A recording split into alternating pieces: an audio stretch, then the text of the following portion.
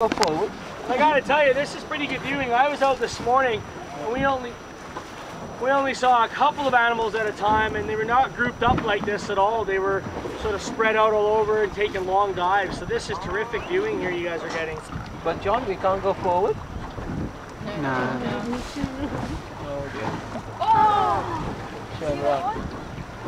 Now if they do start to eat, they, what happens is they might get excited and you might start to see some breaching, some jumping out of the water behavior.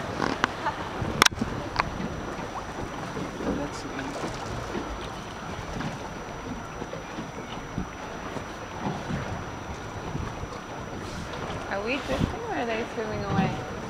Uh, no, I'm backing away, yeah. You're Oh. backing off. Oh. Okay.